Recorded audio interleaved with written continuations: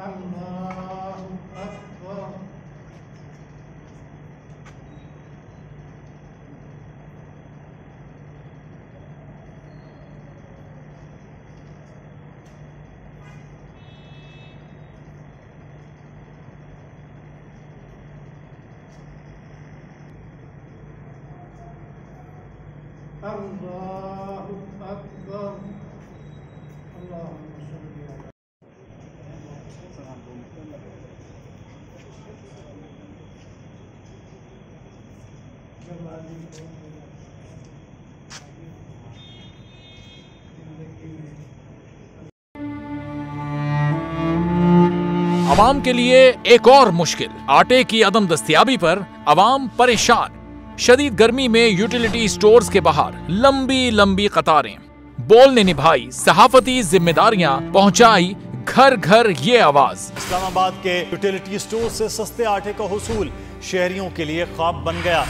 बोल न्यूज़ हकायक सामने ले आया है। आओ मिलकर आवाज़ उठाएँ पाकिस्तान को बदलें बोल के साथ। बोल बना आवाम की आवाज़ अवामी शिकायत पर बोल ने किया मुतल इदारों से मुतालबा। सुबह छह बजे से आकर ये लोग आटे का इंतज़ार करते हैं। सात बजे आई और नहीं मिल रहा है आटा पैसे नहीं होते थे उधारे लेकर आती हूँ। वो कहते हैं जी साथ खजूर लाजमी लें। हमारे पास आटे के पैसे नहीं होते तो खजूर कहाँ से लें? क्योंकि बोल है पाकिस्तान का number one news channel.